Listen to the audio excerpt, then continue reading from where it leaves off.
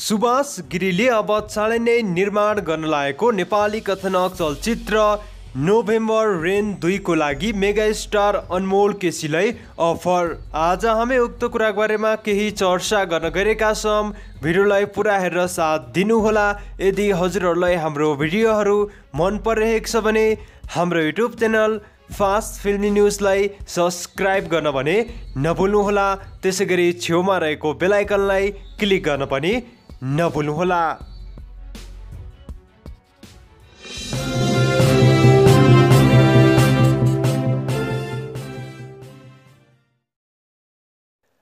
आजभन्दा सात वर्ष अगाडि दुई हजार चौधमा नेपाली कथनक चलचित्र नोभेम्बर रेन रिलिज भएको थियो।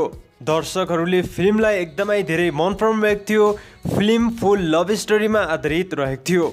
फिल्ममा आर्यन सिग्देल र नम्रता श्रेष्ठको जोडीलाई मुख्य भूमिकामा देख्न पाएका थियौँ। फिल्मले एकदमै राम्रो बक्स अफिस कलेक्सन गर्दै सुपरहिट साबित भएको थियो।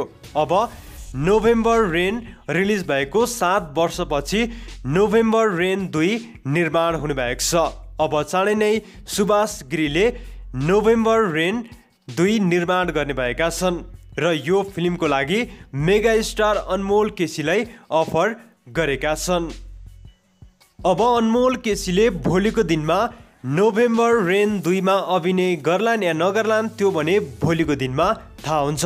तर पछिल्लो समय अनमोल केसीलाई नोभेम्बर रेन दुईबाट अफर गइसकेपछि यतिखेर नोभेम्बर रेन दुईको एकदमै धेरै चर्चा भइरहेको छ।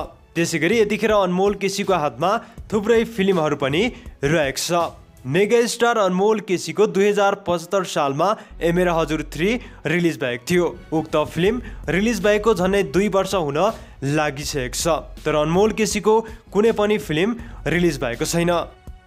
मेगा स्टार अनमोल केसीको नयाँ फिल्म रिलिज नभएको लामो समय भइसकेको छ जसको कारणले गर्दाखेरि पनि अब अनमोल केसीको ब्याक टु ब्याक फिल्महरू आउने भएको छ।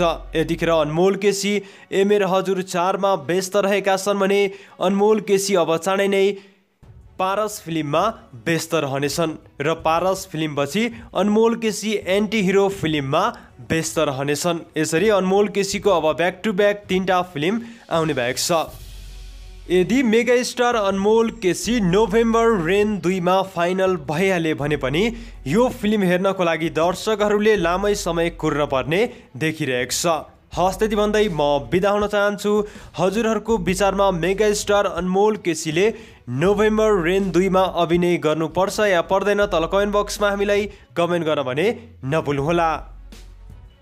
हस्तेजी भन्दै म बिदा हुन चाहन्छु। यदि हजुरहरूलाई हाम्रो भिडियोहरू मन परिरहेको छ भने हाम्रो युट्युब च्यानल फास्ट फिल्मी न्युजलाई सब्सक्राइब गर्न भने नभुल्नुहोला। त्यसै गरी छेउमा रहेको बेलायकनलाई क्लिक गर्न पनि नभुल्नुहोला। हस्त धन्यवाद।